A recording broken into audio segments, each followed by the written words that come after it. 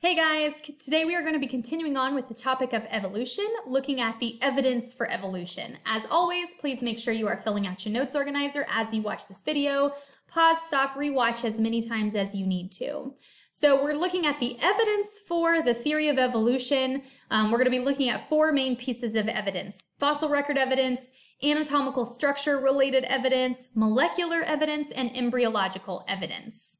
So let's just back up and refresh our memories on a couple of things. Remember, prior to Darwin, organisms were thought to be unrelated, unconnected, and completely unchanged, and the Earth was thought to be about 6,000 years old, fairly young. Charles Darwin was the first to really propose this idea of the theory of evolution by means of natural selection, which really transformed our understanding of the living world, and also made this really bold claim that all species today descend from ancient ancestors.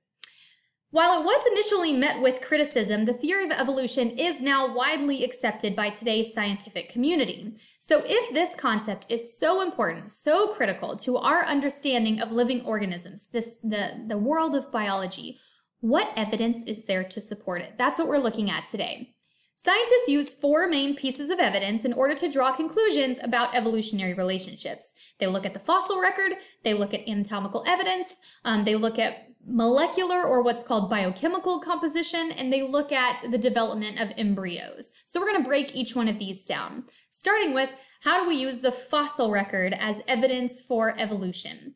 So, definition of fossil. A fossil is the preserved remains or trace impressions of a previously living organism. So, this is obviously preserved remains.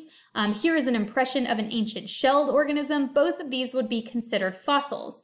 So, what kind of evidence do fossils give us? Well, first of all, they give us a, a relative idea of when an organism existed. So, the age of a fossil is determined in two ways through relative dating and through absolute dating. Relative dating is just like what it what it sounds like. It gives us sort of a relative age by telling us which fossils are older and which fossils are younger based on where they're found in the sediment.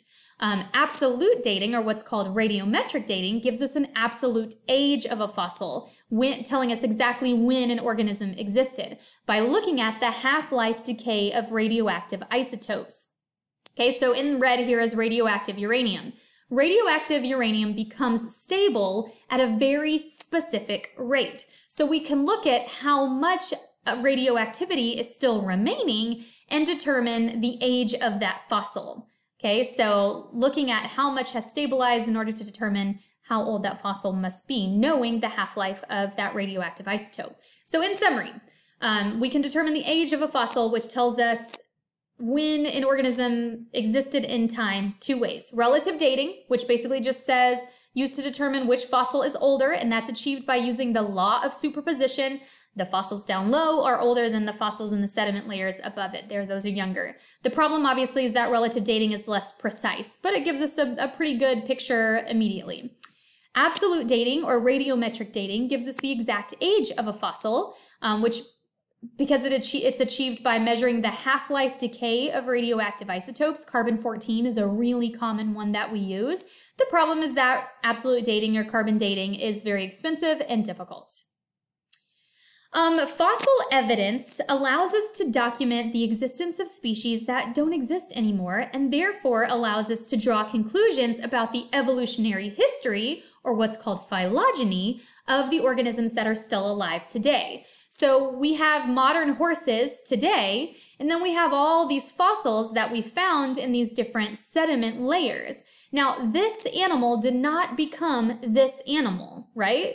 We know that through natural selection, there was this accumulation of traits, and these must have been these sort of intermediate species that led to what we have today, allows us to draw conclusions about the evolutionary history or phylogeny of the horse.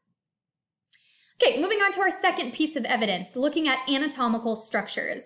So scientists basically compare morphology, which is anatomical structures, in order to draw conclusions about evolutionary relationships. It's as simple as this. The more similar, the more similarities you have in morphology, the more similarities you have in structure, the closer the relationship, which is why we think um, chickens and other birds are more closely related to uh, reptiles than they are to anything else because their morphology is very similar. Now, there are three types of anatomical evidence. There's homologous structures, analogous structures, and vestigial structures. And each of these types of anatomical evidence tell us very different uh, things about evolutionary history. Homologous structures, remember that word part homo means same. So homologous structures is when you have same structures, same anatomy, even though the function might be different. Homologous structures suggest a very close evolutionary relationship, meaning that they evolved from a recent common ancestor. Here's an example of homologous structures. Human arms, cat legs, whale fins, flippers, whatever you want to call it, and bat wings have very similar bone makeup. Even though their functions are very different, right? A human arm is for grasping, a cat leg is for walking, a whale fin is for swimming, and a bat wing is for flying. Functions are very different, but when you look at their morphology, their anatomical structures, they all have an upper bone. They all have a pair of bones. They all have wrist bones here in yellow. They all have hand bones here in green, these bones here. And then they all have digit bones here even in the whale, even in the in the bat wing. So what that suggests is that these animals must have evolved from a fairly recent common ancestor. It suggests that they are very closely related, which sort of makes sense because they're all mammals. Okay, then we have analogous structure. An, analog an analogy in like literature is when you compare different things, right? So analogous structures are structures that have very different anatomy, even though their function might be the same. So like a butterfly wing and a bat wing, the function is the same, flight. But when you look at their structure, their morphology, it's very different. Butterfly wings are made up of like thin layers of protein, whereas uh, bat wings you just saw are made up of bones. This suggests that they did, do not share a recent common ancestor. They do not have a close relationship, but there must have been some environmental condition that, or environmental stressor that caused them to evolve the need for flight. And then our final piece of anatomical evidence are what's called vestigial structures. And these are structures that are sort of left over in an organism, even though they serve no purpose. So why is it there? It allows us to draw some sort of conclusion about the past history of a species. Um, for example, uh, whales have hip bones. Whales don't need hip bones. They swim, they don't have legs. So why do they have these tiny little remaining hip bones?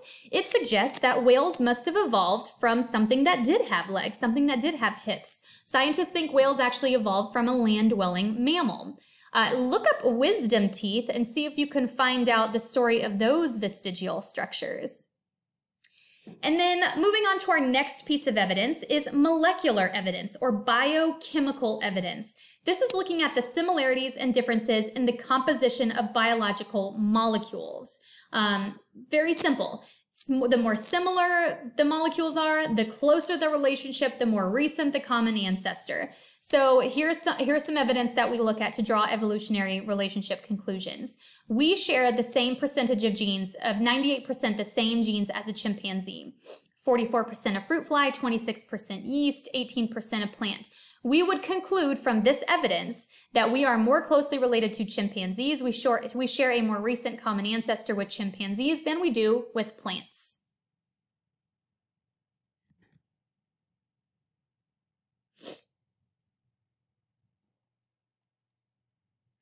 We can also look at different types of molecules. So we can look at DNA sequences, we can look at RNA sequences, we can look at protein structures, and we can look at amino acid sequences. So for example, we can look at the hemoglobin protein, which is a protein found in blood that helps to carry oxygen. And we can look at the number of amino acid differences in our different hemoglobin proteins. So for example, humans and gorillas only have one amino acid difference in their hemoglobin proteins. Uh, we have 27 differences between us and a mouse, and there are 67 differences between our hemoglobin and the hemoglobin in a frog. So we would conclude from this evidence that we share a more recent common ancestor. We are more closely related with gorillas than we are with frogs. And then our last piece of evidence is looking at embryological evidence or embryology. So embryology is the study of how organisms develop. Again, very simple. Similarities in development suggest a close relationship. They suggest a recent common ancestor. So we look at how organisms um, develop very early on and we draw some conclusions based on similarities. So here's a comparison of vertebrate embryo development. Look at this early, early stage. Very similar all the way around. As we get later in embryological development, still very similar over here. Now we've got some differences down here and then very similar here. So we would conclude from this embryological evidence that humans are more closely related to rabbits than they are and to calves than they are to tortoises, salamanders, and fish, which sort of makes sense. All right, that's all I have for you today. I hope you found this interesting. Um, evolution is a big idea in biology, so I think it's important to understand the evidence that there is to support it. Hope you're having a great day.